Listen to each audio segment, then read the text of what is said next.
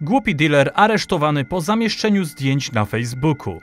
To zdjęcie z Facebooka Taylora Harrisona z dwoma wielkimi topami w jego ustach. A to zdjęcie Taylora z wielką torbą zioła i radiowozem w tle. A to zdjęcie Taylora z aresztu.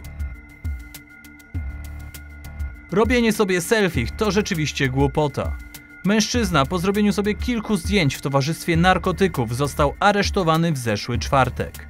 Dealer Kozak chciał pokazać FBI, jak prosto jest dealować narkotyki tuż pod ich nosem. Taylor Harrison zatrzymał się obok radiowozu. Wyciągnął na wierzch sporo gotówki i torbę Mary Jane. Pozował do zdjęcia.